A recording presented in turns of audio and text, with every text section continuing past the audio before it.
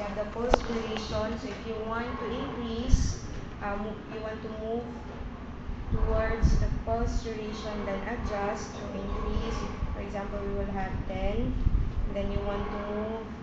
Um, okay, let's have a review. Um, what's the pulse duration ganit for your short, uh, short duration? That's Ito guys, 0.0221 ms. So your long duration pulses, you have 10 to 2000 ms. So we are using pulse a long, long pulse duration.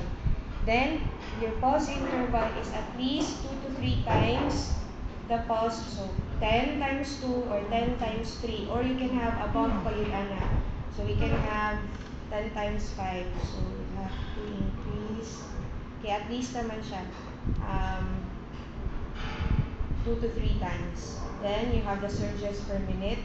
The surges per minute is used if you are performing a tetanic contraction. Okay? And you know already what is tetanic contraction. Katong i-discuss sa laboratory.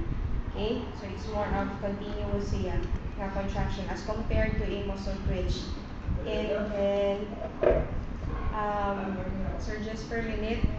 So you will have to adjust, for example, we'll adjust at 1 to, let's say, 9. So, kung 9 ni siya guys, for example, you will have 9 ka tetanic contractions for 1 minute. Okay? 9 ka tetanic contractions for 1 minute. Then you will have to move towards the time, I'm sorry, then increase, decrease. Usually, uh, ES um, treatment would last for 10, 20 to 30 minutes. So, please, let's have that. And then, ano siya daan?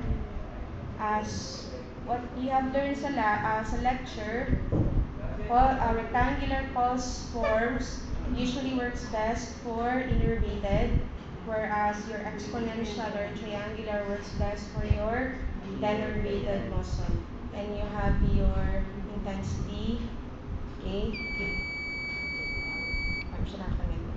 And then, sakto na na siya guys, everything. Okay? Okay, once if ever ma-produce this sound, that would indicate that there's something wrong.